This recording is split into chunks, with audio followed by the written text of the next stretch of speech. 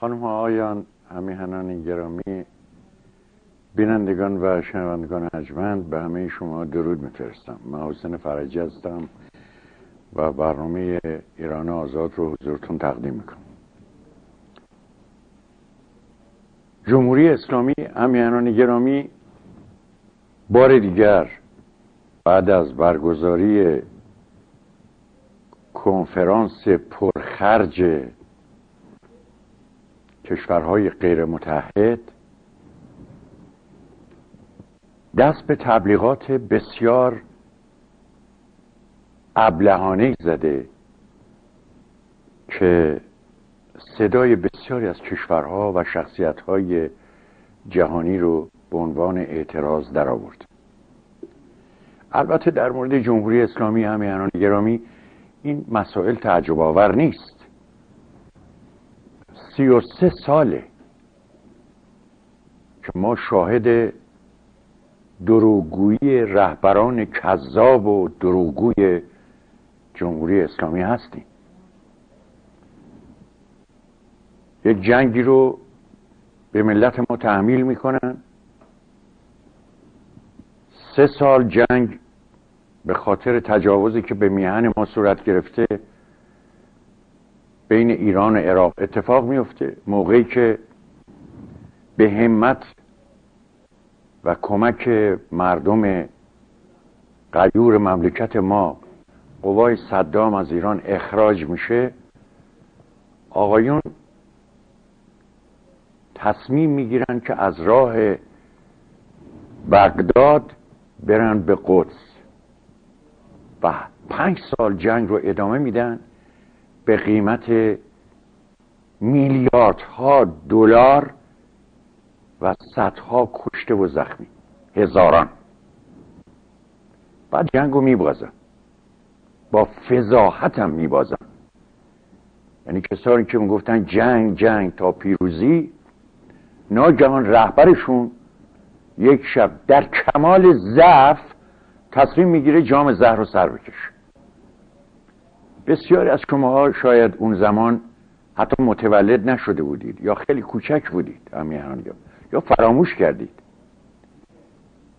قرار شد هیئت های نمایندگی ایران و عراق تحت سرپرستی سازمان ملل متحد مذاکرات آتشبس و صلح انجام بدن.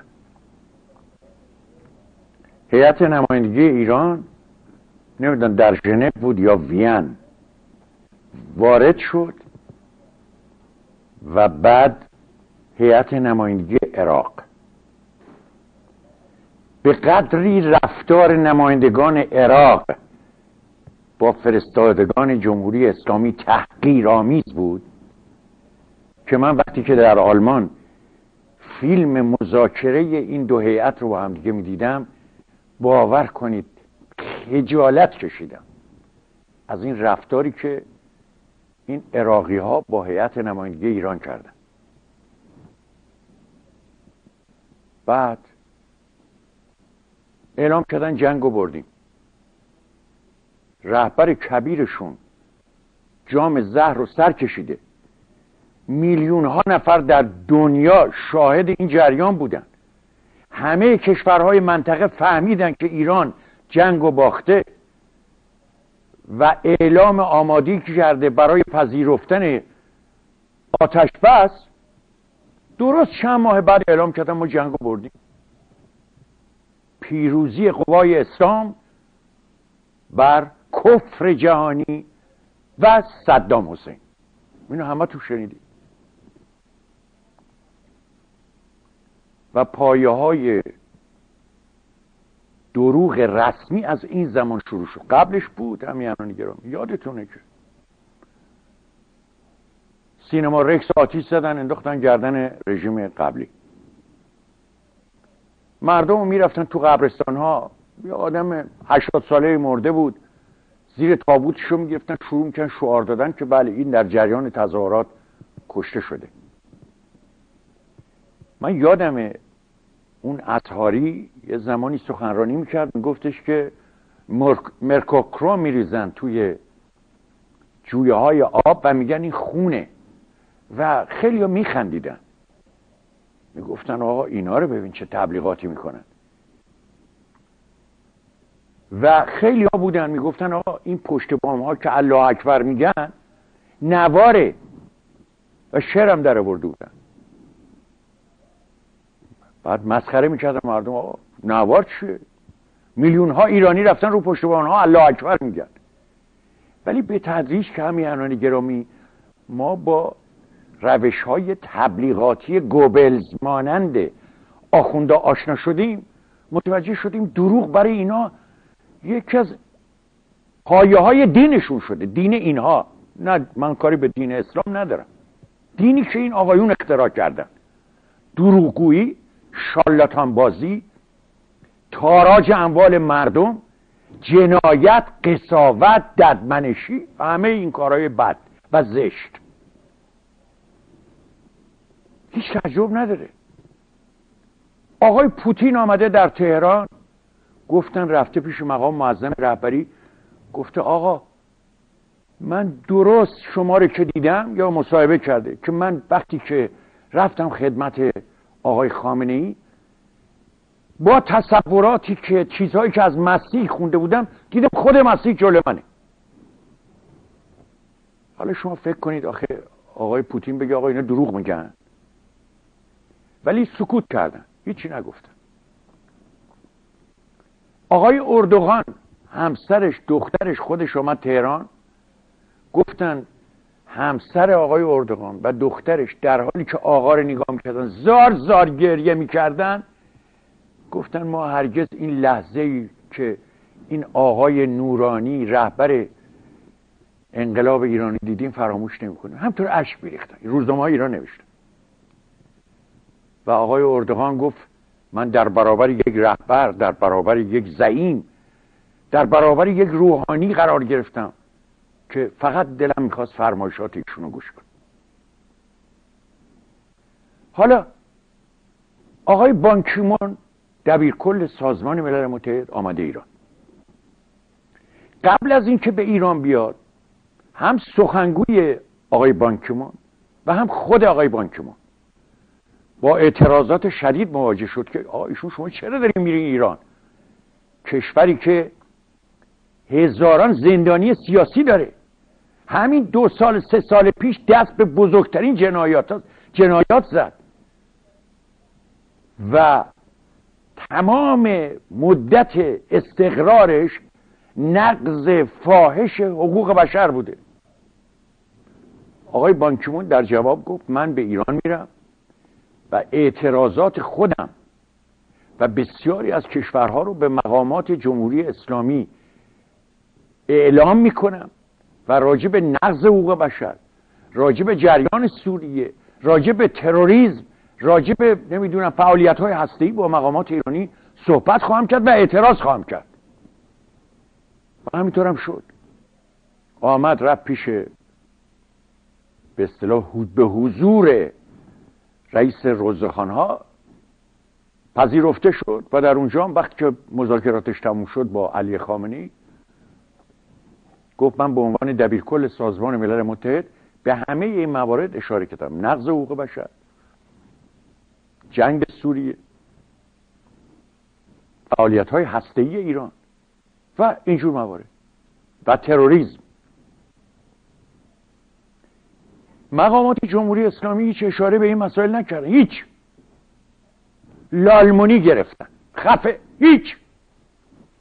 فقط نصایح حضرت آقا رو یعنی رئیس روزخان ها رو به آقای بانکمون ابلاغ کردن منتشر کرد مثل که این آقای دبیرکل از اونجا بلند شده بود بیاد اینجا که رئیس روزخان ها که تا ده سال پیش تا 20 سال پیش سی سال پیش روزه می‌خوان ده تومن می‌گرفت. حالا یا دبیر کل سازمان ملل متحد باید بیاد اینجا در حضور ایشون اینطوری بشینه و این آقا نصیحتش کنه. حالا این آقای دکتر ولایتی دکتر اطفال که از آمریکا تحصیل کرده اومده ایران. حدود 13 14 سالم وزیر خارجه بود. حالا شده مشاور ارشد امور خارجی مقام معظم رهبری. ایشون گفته که موقعی که آقای بانکیمون به حضور مقام معظم رهبری رسیدن گفتن که بذارید متن حرفشون می‌خونن. آقای دکتر ولایتی که در دیدار بانکیمون با آیت الله خامنه حضور داشت درباره این دیدار گفته بود. یعنی آقای بانکیمون به رئیس روزخانه ها گفته شما فقط رهبر ایران نیستید. بلکه رهبری مذهبی جهان اسلام را نیز بر عهده دارید. و ما خدمت شما رسیدیم تا بگوییم ما را در حل مسائل منطقه به ویژه سوریه کمک کنید. زیرا در این باره به مشکل برخورده ایم آخه. بلافاصله بعد از انتشار این مطلب سخنگوی آقای بانکیمون گفت هرگز همچین صحبتی نشده. آقای بانکیمون به عنوان دبیر کل سازمان ملل متحد نه تنها این کار نخواهد کرد که عنوانی به کسی ببخشه بلکه در حد وظایف او نیست. دبیر کل چی کار است که بگه آقا شما رهبر کشورهای اسلامی منطقه هستید؟ هم چیزی اصلا نمی‌تونه بگه. این آقا شیعه است. تمام منطقه مسلماناش سنی. چه ارتباطی با آقای خامنه ای داره؟ اینا تکسیب کردن. گفتن همچه حرفی نزد آقای بانکیمون حالا امروز دوباره دفتر این آقای دکتر اطفال آقای ولایتی گفته نخیر ایشون عین اظهار نظرش بوده. نوار و صداشون هم موجوده. مثل همون مصاحبه که خبرگزاری فارس درست در زمانی که فعالیت های انتخاباتی مثل به نتیجه رسیده بود و غیر مستقیم معلوم بود که آقای محمد مرسی رئیس جمهور مصر یه مصاحبه قلابی با آقای مرسی درست کرد. واقعا اینا وقاحت می‌خواد هم یعنی آدم باید واقعا بی اخلاق باشه. حتی در سطح جهان داخل که خب مردم دست اینا رو خوندن. ولی در سطح جهانی تا به حال این بی اخلاقی بی سابقه بوده. حالا میگم خدمت از قول آقای مرسی خبرگزاری فارس یک مصاحبه 6 صفحه‌ای منتشر کرد که آقای مرسی تمام سیاست های جمهوری اسلامی رو تایید کرده و در مورد خیلی از کشورها نظر خودش نگفته. نظر جمهوری اسلامی رو گفت. بعد معلوم شد آقا این مصاحبه قلابیه. آقای مرسی اصلا همچین مصاحبه ای نکرده. خبرگزاری فارس از رو نرفت. نگفت لالمونی بگیره به قول ما. خفه بشه حرفی نزنه. گفت نه خیر. هم نوار این موضوع موجوده هم فیلمش. و جالب اینجاست که رفت یه نواری رو. حالا معلوم اصلا صدای آقای مرسی هم نبود. اینا که میگم همین انانی گرامی داستان نیست. اینا واقعیته. اومد این نوار رو پخش کرد. گفت بعد صدای آقای مرسی که خود روزنامه های ایران نوشتن آقا این صدای آقای مرسی نیست. اصلا هیچ دخلم وار.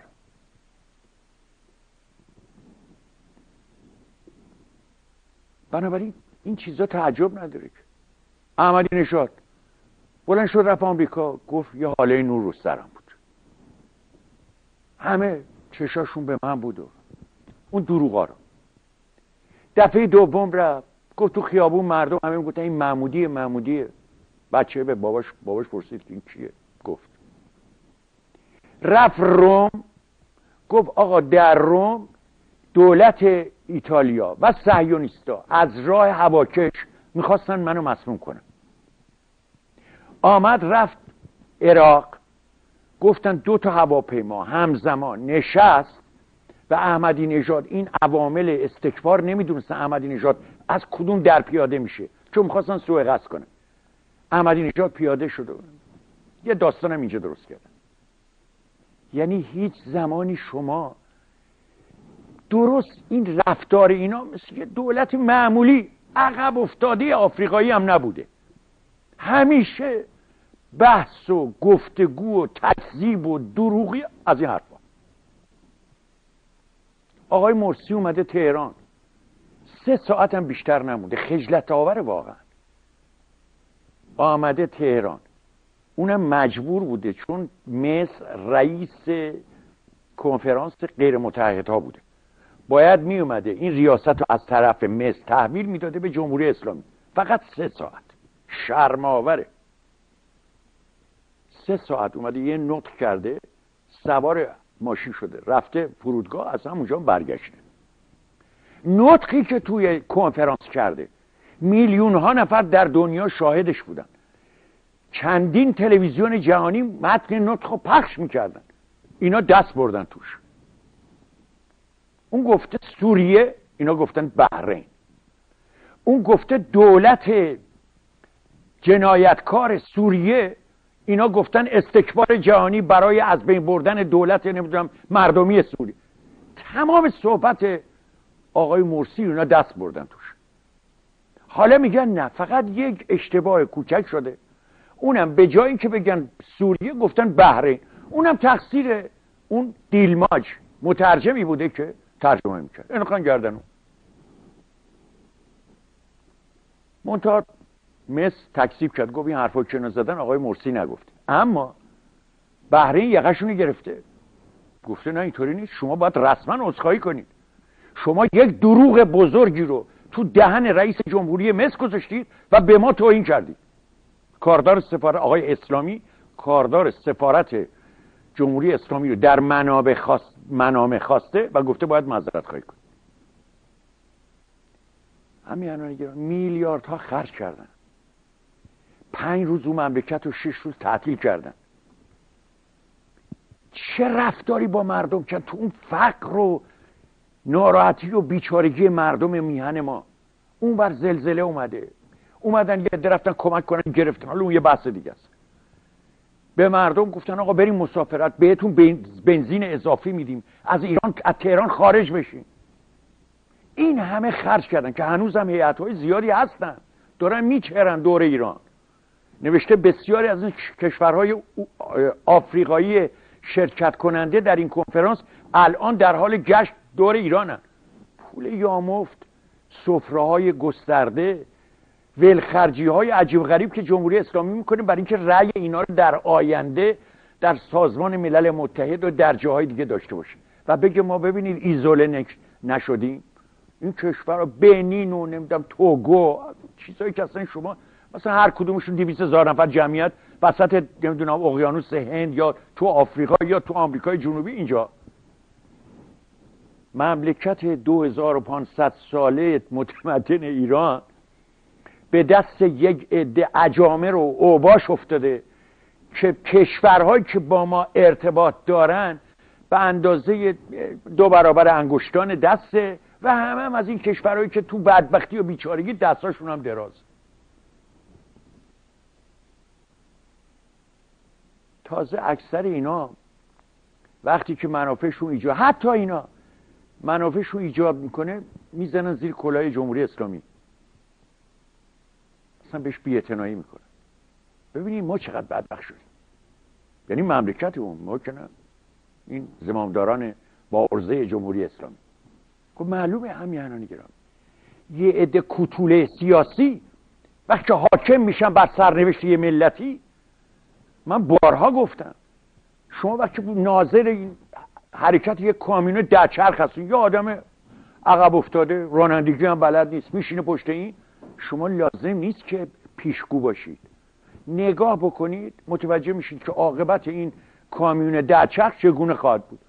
حرکت می‌کنه می‌زنه دیوار خراب می‌کنه آدما رو می‌کشه همه چی رو نابود می‌کنه وایس. اینا همینطوره. الان همین حرکته. سی و سه سال اینا در قدرتن. سی و سه سال داره همینطور تو اینا تصویه انجام میشه. این گروه میاد اون گروه می‌زنه این گروه میاد اون گروه می‌زنه. همینطور ادامه داره.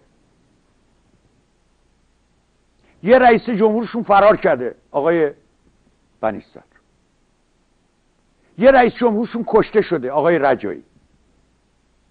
به یه رئیس جمهورشون فش میدن. آقای خاتمی. به اون یکی رئیس جمهور نیمه فش میدن. آقای رفسنجانی. یه نخست وزیرشون زندانه آقای موسوی. دو دوره رئیس مجلسشون زندانه آقای کروبی. بسیاری از زمامدارانشون و نمی‌دونم مدیرانشون و وزیرانشون و وکلای مجلسشون تو زندانن. همین اصلاح چیا این طبیعیه به نظر شما؟ واقعا این طبیعیه. هیچ جای دنیا همچین حکومت دیوانه دیدی؟ یه عده خل خل و چل افتادن به جان ملت. بعد ثروت های افسانه همه نابود شده. الان یه گزارش من دارم. نوشته در آینده نزدیک به احتمال بسیار زیاد. نرخ دلار 6400 تومان خواهد شد. درست شنیدید؟ درست شنیدید همین الان الان براتون می‌خونم. نوشته که علتش هم اینه که اینا دیگه ارز ندارن نفت نمی‌توانند بفروشند. در نتیجه ارز دولتی ندارن حقوق کارمندا رو دو راه دارن اسکناس چاپ کنن به مردم پول بدن. بنابراین دیگه پولی در وسط نیست. ولی یه خطر برای اینا هست. خطر شورش های شهری. اینا این گزارش رو براتون می‌خونم. مال پکنت هم هست. نوشته وبسایت خبری کلمه نوشته در گزارش محرمانه که در کمیسیون اقتصادی هیئت دولت طرح شده از اتمام ذخایر ارزی کشور در شش ماه آینده سخن به میان آمده است. نرخ واقعی برابری ارزش دلار. با ریال نیز در این گزارش به ازای هر دلار 6700 تومان برآورده شده 6700 تومان. یک دونه دلار به زودی همین قیمت خواهد شد. همچنین در این گزارش خبر داده شده که با توجه به افزایش مداوم کسری بودجه دولت طی سه ماه آینده وزارتخانه ها و دستگاه های دولتی در پرداخت حقوق کارکنان و مجموعه های مرتبط با خود دچار مشکل خواهند شد. در شماره اخیر بولتن محرمانه وزارت اطلاعات نیز با اشاره تلویحی به این شرایط دشوار اقتصادی از احتمال بروز شورش گرسنگان به ویژه در حاشیه شهرهای بزرگ کشور سخن به میان آورده شده. کارشناسان این دستگاه امنیتی هشدار دادند که از شهریور ماه جاری به بعد این زنگ خطر همواره به عنوان یک چالش جدی در برابر دولت جمهوری اسلامی قرار دارد. این همین الان شما بیشینی؟ همه ماها همه ماها همین الان بشینیم فکر کنیم که اینا در چه رشته ای موفقیت داشتن. یه دونه به علاوه بذارید. در کدوم رشته ها بازی رو باختن؟ یه منها بذارید. من به شما قول میدم تعداد به علاوه ها یک یا دو تاست. بقیه همه منهاست. راجب چی می‌خواید صحبت کنید؟ که اینا کار درست و مثبت کرده باشن.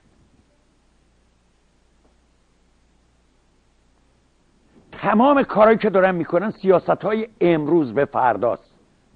سیاست های امروزیه فقط یک وجب جلوی چششون رو می‌بینن. همین. در حالی که دنیا من در آلمان شاهدم. برای سی سال آینده برای پنجاه سال آینده برنامه ریزی می‌کنن. نه در آلمان در همه کشورهای پیشرفته دنیا. من بارها در این برنامه گفتم همین انانی گرامی به خاطر پول بنزین معمولی کارمند رئیس مجلس آلمان. خانومی که رئیس مجلس بود. شوهرش به طور غیر مجاز اتومبیلی دولتی رو که زیر پای این خانوم بوده برداشته بود از بون اون موقع پایتخت آلمان بون بود. تا مثلا دو تا شهر اونورتر یه خود از کلن بالاتر. رفته بود توی اشپیگل یک گزارشی راجع به این موضوع. خانوم رئیس مجلس وادار به استعفا شد. به عنوان سو استفاده از مقام دولتی. امروز یک گزارش هست نوشته بسیاری از این اطرافیان احمدی نژاد از نظر اقتصادی پرونده های بسیار زخیم دارن ولی به دستور مقام معظم رهبری گفتن تا یک سال دندون رو جگر بذارید. این مملکته احمدی نژاد و دوروریاش هم میگن آقا. اینا دروغ میگن. ما رفتیم کشف کردیم که یه عده فساد ایجاد کردن. اینا آمدن اسم خود ما رو گشتن جلو. مملکت ببینید چه خبره. و به همین دلیلم آقای احمدی نژاد پرونده برادران لاریجانی رو رو کرد. بعد اینا هم ناچار قبول کنن. منتها گفتن نه ما یه کشا اون من کشاورزم. یه چند هکتار زمینی گرفتم آباد کنم. اونم کجا؟ دورور تهران ورامین که آبادترین جاست. اما یکی از ایشون نپرسی خب چرا نمیری تو کبیر رو آباد کنی؟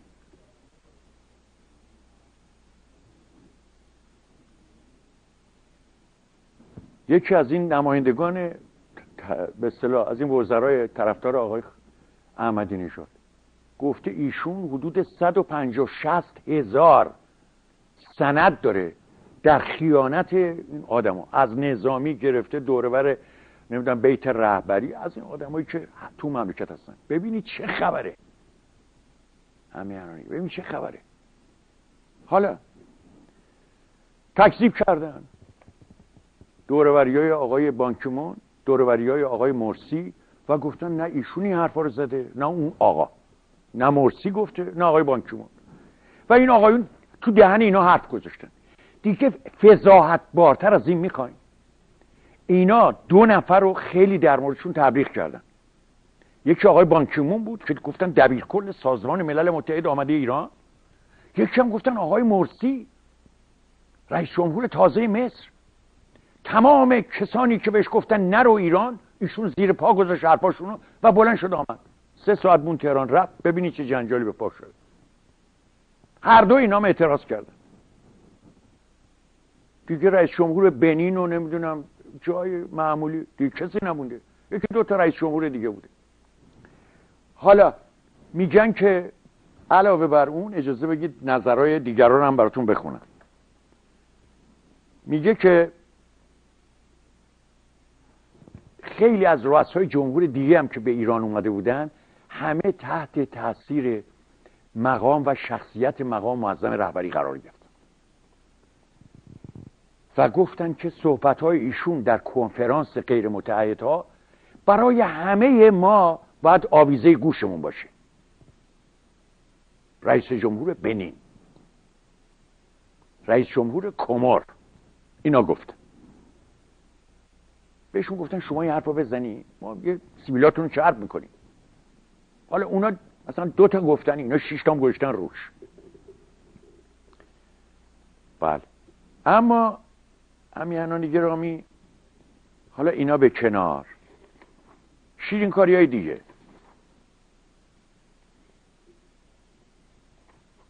یادتون هست اینا چه خرجایی برای به قول خودشون مردم مظلوم فلسطین کردن؟ اینم بگم.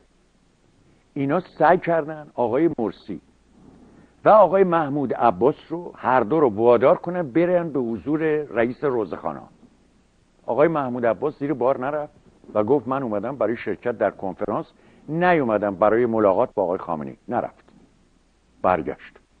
آقای مرسی هم که سه ساعت بیشتر نموند برگشت. بقیه این آدما رو بردن و دیدن که خیلی خجالت آوره دیگه یکی دو تاشون عکساشون نشون بقیه نشون نداد. اما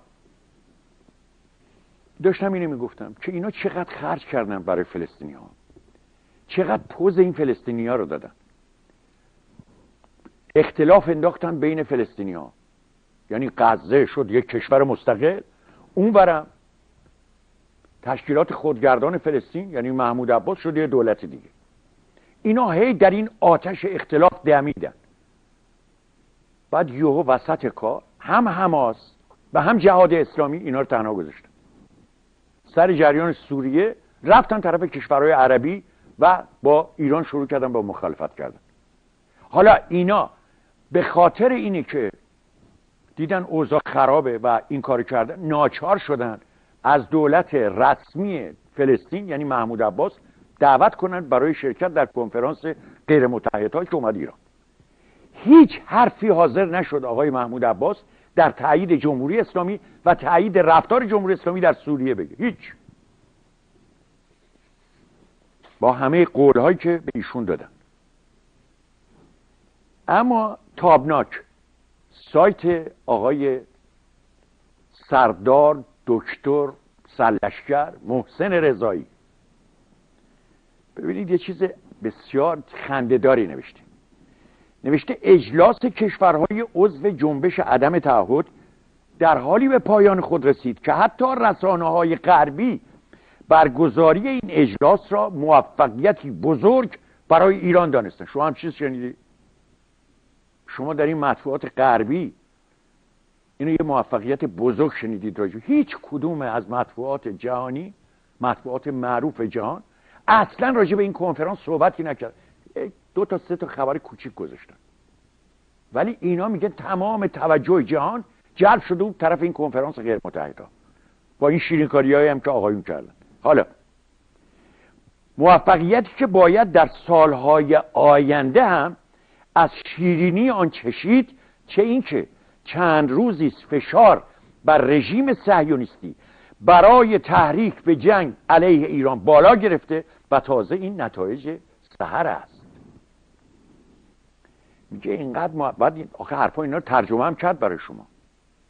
میگه اینقدر این کنفرانس باعث نامآوری ایران شده نتایج عجیب و غریب به بار آورده موفقیت بزرگ پیدا کرده که غربیا استکبار جهانی داره فشار میاره به اسرائیل که به ایران حمله کنه که این اثر موفقیت رو از بین ببره. در حالی که همین امروز سخنگوی کاخ سفید اعلام کرده این شایعه ای که گفتن آقای اوباما یه نماینده فرستاده ایران. برای اینکه به ایران بگه شما یه خود در نظراتتون تعدیل کنید تا اسرائیل به ایران حمله نکنه ما پشت سر شما هستیم تکذیب شده و گفتن اصلا هم چیزی وجود نداشته بعد میگه به گزارش تابناک اما نکته ای که در روزهای اخیر باعث حمله رسانه های مختلف به کشورمان شده نحوه انتقال و ترجمه سخنان رئیس جمهوری مصر به زبان فارسی در صدا و سیمای است. جایی که مترجم این سازمان نادانسته و یا دانسته برخی از تعابیر و جملات مرسی را به گونه دیگر ترجمه کرده است. آخه شما در دنیا همین هنانی رو دیدید؟ یه مترجم معمولی بتونه اینقدر وقاحت بخواد واقعا به حال اون کشور گریه کرد. که بیاد دست ببره توی گفته رئیس جمهور یک کشوری مثل مصر. همچی چیز شنیدید شما؟ بعد همه تقصیر رو بزن گردن اون.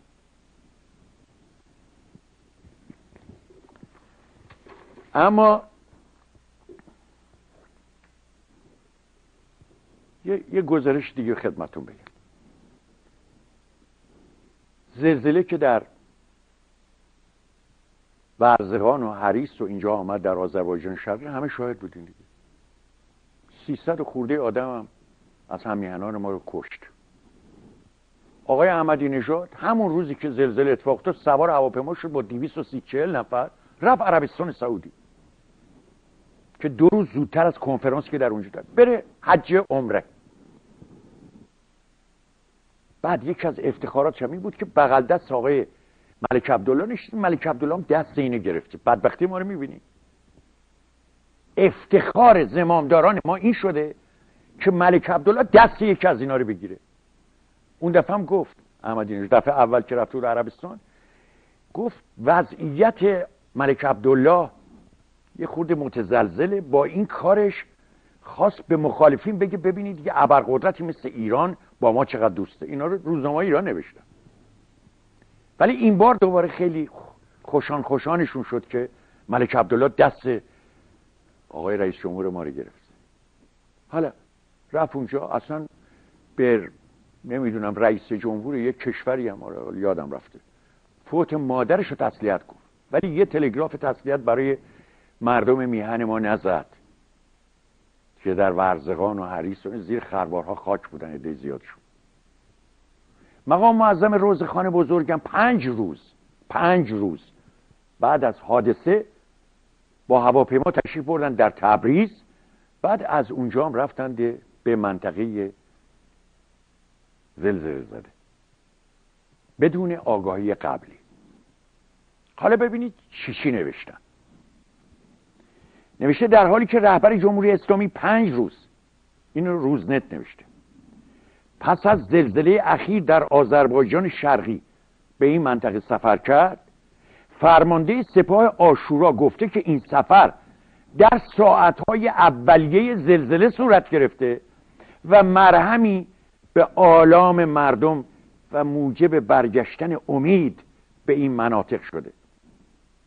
به گفته سردار علی علی اکبر پورجمشیدیان حضور آیت الله خامنی در میان آسیب دیدگان زلزله آثار شگرفی بر جای گذاشته که بدیهی ترین آن تابیده شدن نور امید در قلب تک تک زشت کشیدگان این حادثه بوده می‌بینی؟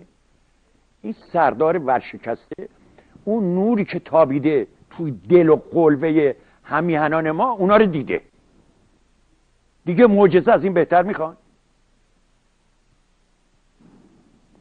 رهبر جمهوری اسلامی صبح روز پنجشنبه 26 مرداد در سفر از پیش اعلام نشده به مناطق زلزله زده در استان آذربایجان شرقی رفت. حالا اینا هیچی؟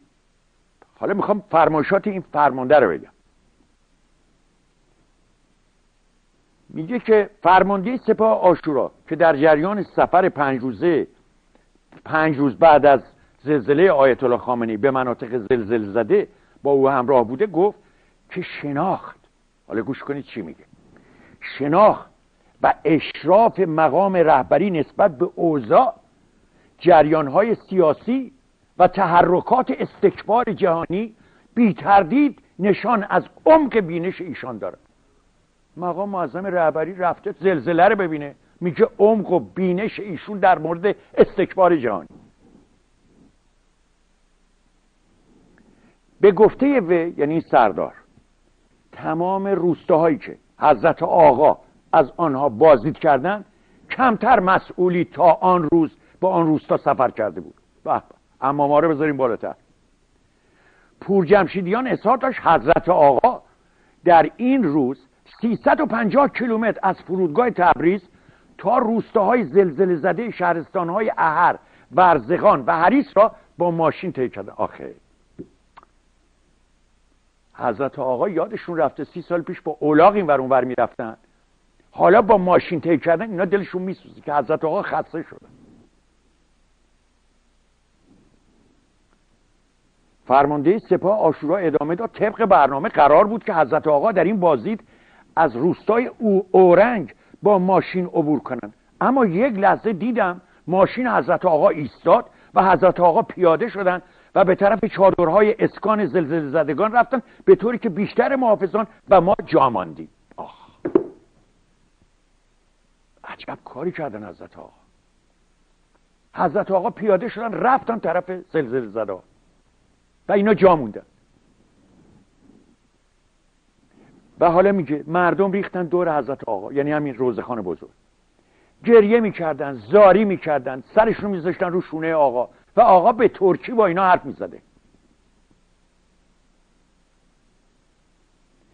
و مردم دیگه آلام و ناراحتی خودشون فراموش کردن. اینا رو بریم بخونید زیاد من خلاصه شد. اما همین حضرت آقا که گفتن این فاجعه مصیبت بار نگفت که یه عزای عمومی اعلام کنیم. نگفت. بعدم گفت من رفتم اونجا همه چیز درست بود مرتب بود. و معمورین دولت به وظایف خودشون عمل کرده بودن. چقدر دروغ میگن اینا. خب رهبر که دروغ میگه اونا دیگه می‌خوان راست بگن. 16 ساعت بعد از حدوث زلزله این نامردا اعلام کردن. عملیات متوقف. ده ها نفر زیر خاکا بودن. این مردم شرافتمند میهن ما بودن که به داد هم میهنانشون رسیدن. الان یک گزارشی من دارم که یک دختر آلمانی رفته ایران. در زمانی که زلزله اومده تا به حالم اعلام نکرده بودن اینو. نوشته که تا به حال نگفته بودن که یک هیئت از طرف آلمانیا برای کمک به مردم رفتن و اجازه و مجوزم گرفتن. رفتن ایران. این دختر خانوم میگه که ما در تمام مدت که در ایران بودیم میگه من دومی معموریتم بوده که رفتم. این معموریت اول من در نیجر بوده در آفریقا. فقر بیچارگی و بعض خراب مردم اونجا. میگه ولی من رفتم ایران. زلزله آمده بود. مردم ازادار بودن. خیلی جاها حتی غذا نداشتم بخورم این دختر حال می‌خونم براتون. میگه ولی با مهر و محبت ما رو میپذیرفتن و برای ما چایی درست می‌کردن و با خوشرویی با ما برخورد می‌کردن. من هرگز هیچ هم چیزی ندیده بودم. و میگه چیزی که برای من حیرت آور بود این اتحاد مردم بود. در این حادثه تأصرف بار از تمام ایران جوون ها مخصوصا همه دسته دسته برای کمک به این مردم آمده بودن به این روستاها و شهرهایی که زلزله زده بود.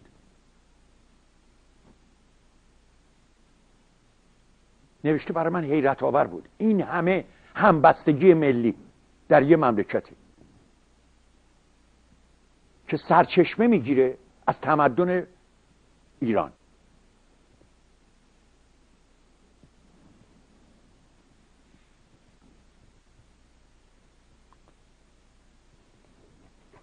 بعد خدمتون ارز کنم که یه مطلب دیگه جالبی بود که من امروز خوندم. اینی که این مقام معظم رهبری تا به حال اجازه نمی‌دادن که ماشینی که سوار میشه اتومبیلی که سوار میشه اسکورتی که این این ور می‌بره اینا رو کسی ازش فیلم بگیره. ولی این بار که مقام معظم روزخان بزرگ در کنفرانس غیر متحدها شرکت کردن مثل اینکه به طور عمد برای اینکه عظمت طرف رو به چشم جهانیان برسونن آمدن از نزول اجلال رئیس روزخانها به کنفرانس غیر متحدها فیلم تهیه کردن حالا من اگه این فیلم فیلم پیدا کنم حتما براتون پخش می‌کنم همین همین. هرچی گشتم پیدا نکردم. فیلم نزول اجلال رئیس روزخانها به کنفرانس غیر متحدها. نوشتن که این خودروی که ایشون سوار شده یک خودرو آبی رنگ که شیشه های کاملا مشکی داشته. ضد گلوله. این خودرو آنگونه که در فیلم نشان داده می شود با ده ها دستگاه خودروی بنز شیشه دودی دیگر موتورسیکلت هایی که دو سرنشین صورت های پوشیده شده و لباس های یک شکل دارند و اتومبیل های متعدد بنز پلیس همراهی می شود چندین خودروی شاسی بلند نیز در این اسکورت حضور داشتند. کاروان حفاظتی رهبر جمهوری اسلامی در میان تدابیر امنیتی شدید و با حضور صدها نفر از ماموران ویژه امنیتی سپاه پاسداران وارد ساختمان اجلاس عدم تعهد شد. این اتومبیل های شاسی بلند رو می‌دونی برای چی گذاشتن؟ برای اینکه دوره بکن حالا منهای اینی که نوشته ده ها اتومبیل بنز ضد گلوله ایشون رو در میان گرفتن و موتورسیکلت هایی که دو تا سرنشین داره یکی اون ور یکی این ور دو اسکورت می‌کنه ایشونو. این ماشین های شاسی بلند هم گرفتن که اگر خدایی نکرده خدایی نکرده زبان خودشون لال کسی قصد تعرض به مقام روزخانه بزرگ داشته تیرش بخوره به این ماشینا. به خود آقا نخوره. چون تمام جهان ازادار میشه. بله. بعد نوشته که این کسانی که از رئیس روزخانه ها حفاظت می‌کنن یگان ویژه سپاه پاسداران به اسم سربازان ولایت. این دوازده هزار نفر نخبه ترین افراد سپاه پاسداران. یعنی بخونین جانی تری تمام عملیاتی که در همه کشورها این رنجرهای مخصوص می‌بینن اینا دیدن. چجوری بزنن آدم ها رو بکشن؟ چجوری بزنن گردن آدم ها رو قطع کنن؟ این وحشی ها یاد اینطوری باشن دیگه. و خصوص که از مقام معظم رهبری هم حفاظت می‌کنن دیگه. شوخی نیست که. دوازده هزار نفرن اینا تازه اعلام کردن. به جز اینا یک گروه دیگه هستن که به اونا میگن سپاه انصار المهدی. اونا از مقامات دولتی حفاظت می‌کنن. اونا مثل که تعدادشون در 15 هزار نفره. مقام معظم روزخانه بزرگ خیلی سالی یک دفعه به این دوازده هزار نفر براشون جلسه می‌ذارن باشون شام می‌خورن. فروشگاه های مخصوص دارن اینا. اینا بی خود نیستن که باید سیویل همه اینا رو شرب کرد. ولی نوشته گزینش اینا. بسیار روشون حساسیت وجود داره. تا شش تا نسل پشت سرشون اینا رو همه رو کنترل می‌کنن تا اجازه میدن بیان تو این به اصطلاح نگهبانان ولی امر مسلمین جهان.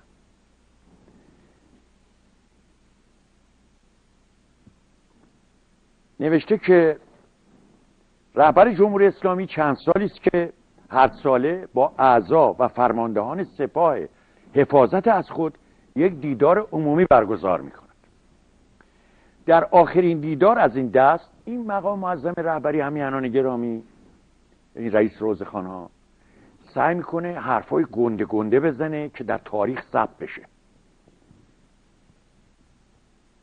دیدین که از بزرگان جهان همیشه وقتی یاد می‌کنن یکی دو تا از کلمات قصار اونا رو میارن.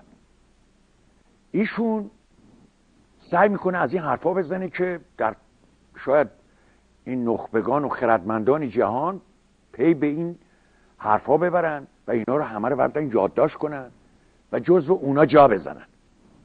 ببینید چی گفته. در آخرین دیدار از این درس دست 23 تیر ماه سال 1388 آیت الله خامنه‌ای خطاب به محافظان خود گفت شما در جای بسیار حساسی خدمت می‌کنید و باید بصیرت خودتان را بالا ببرید. و افسود اگر شما تو جبهه جنگ نظامی هندسه زمین در اختیارتان نباشد احتمال خطاهای بزرگ هست. برای همین هم هست که شناسایی می‌کنید. یکی از کارهای مهم در عمل نظامی شناسایی است. شناسایی از نزدیک که زمین را بروم ببینن دشمن کجاست چجوری است مواضع چگونه است عوارض چگونه است تا بفهمن چه کار باید بکنن. به گفته رهبر جمهوری اسلامی اگر کسی این شناسایی را نداشته باشد میدان را نشناسد دشمن را گم بکند یک وقت می‌بیند که دارد خمپاره اش را توبخانه اش را آتش می‌کند به طرفی به طرفی که اتفاقا آن طرف دوست اوست. شما متوجه شده ایشون چی فرمودن؟ من که زیاد متوجه نشدم. ولی خب این حضرت آقا از این عراجیف زیاد میگن. اما اون دوروری ها این عراجیف رو تبدیل می‌کنن به سخنان پیامبرگونه. من در برنامه های دیگه از این سخنان پیامبرگونه باز برای شما نقل می‌کنم همین دیگه. سپاسگزارم که به برنامه من توجه کردید. تا برنامه فردا خدا نگهدار زنده باد آزادی پاینده ایران.